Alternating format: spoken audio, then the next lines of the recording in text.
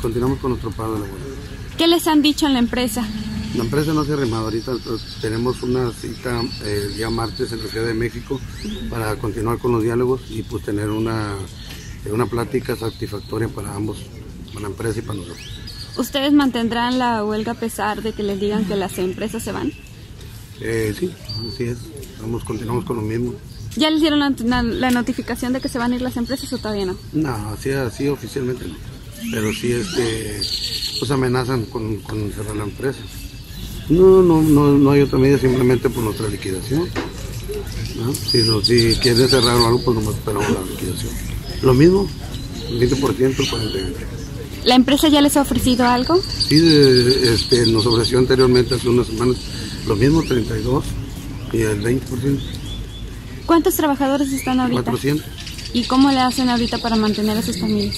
Um, este, ya recibimos una ayuda por parte del sindicato nacional. Ok. Recibimos una ayuda por cada- para cada uno de nosotros. Este, ahorita ya nos están esperando la fecha para la reunión de- del día mañana.